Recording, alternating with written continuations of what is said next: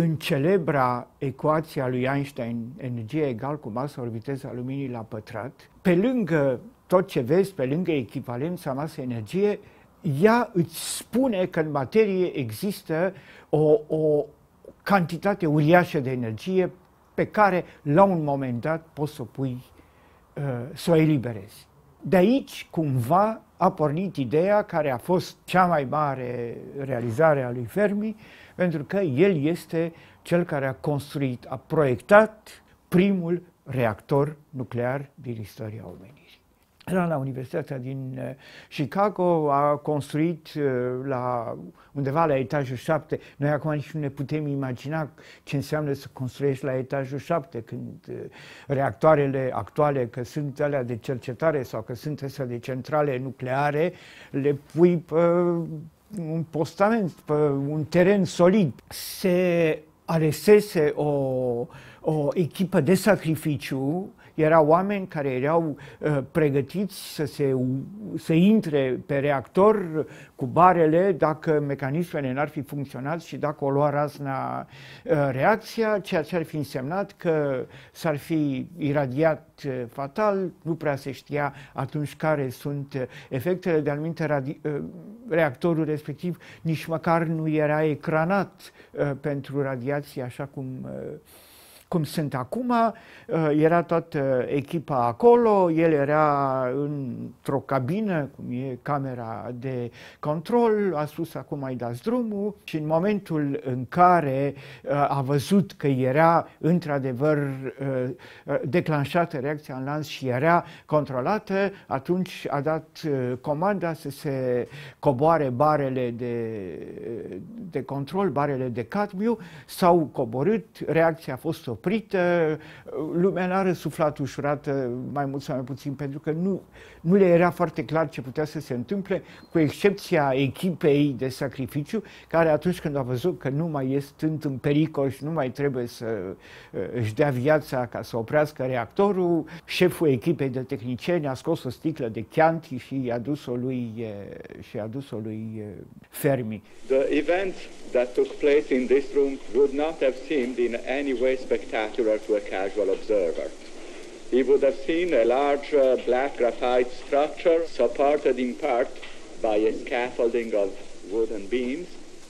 He would have seen a number of people reading instruments and uh, recording their results. În acel moment, uh, șeful proiectului, un alt mare fizician, Arthur Compton, s-a dus și a dat un telefon cifrat unui uh, alt fizician, uh, Jim Conant, care era chairmanul Comitetului Național de Cercetare pentru Securitate, un comitet al președintelui ultra secret și i-a vorbit cifrat ea a vorbit cifrat la telefon uh, și i-a spus, uh, au rămas în istorie cuvintele, uh, marinarul italian a reușit să ajungă în lumea nouă mai devreme decât ne așteptam, cam puțin teren acolo și Conant l-a întrebat la telefon și cum s-a comportat uh, populația băștinașe și răspunsul a fost uh, toată lumea l-a primit uh, cu bucurie și toți sunt în uh, siguranță. Dr. Conant, Dr. Conant, uh, Jim, this is Arthur. I thought you'd know, I thought you'd want to know that uh, uh, the Italian navigator has just landed in the New World. Ăsta a fost momentul care a marcat nașterea fizicii nucleare pe drumul ei spre energia nucleară. E adevărat că după 42 a venit 45 și, și tot ce a însemnat uh, uh, Trinity Test și Hiroshima și Nagasaki. Un singur lucru mai spun, uriaș, despre Fermi. El avea un stil de cercetare pe care uh, foarte puțină lume l-a avut și mulți l-au învățat de la el. Uh, pentru că el era în stare să, uh, să facă uh, el se baza pe aproximații. Când căuta primele uh, explicații sau uh, primele decizii să și le ia, el aproxima foarte bine lucrurile și pe urmă să apucau alții și calculau exact ce spuneau. Și uh, cel mai spectaculos uh, exemplu este testul uh, Trinity, testul primei, deci prima explozie atomică din istorie, care lumea nu înțelegea de ce uh, Fermi, care erau deci erau toți la o anumită, evident, la o anumită distanță de locul exploziei și Fermi și luase în mână, a apărut cu un mănânc de fâșii de hârtie.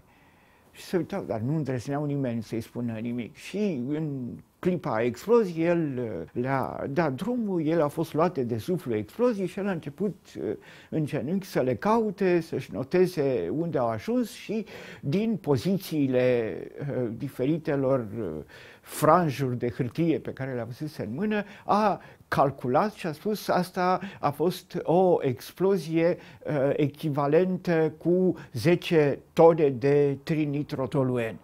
Uh, rezultatul corect era 18, dar evident că aproximația este, este ok. Ei, asta a fost uh, în mare parte începutul mecanicii cuantice și al aplicațiilor, uh, și al aplicațiilor ei.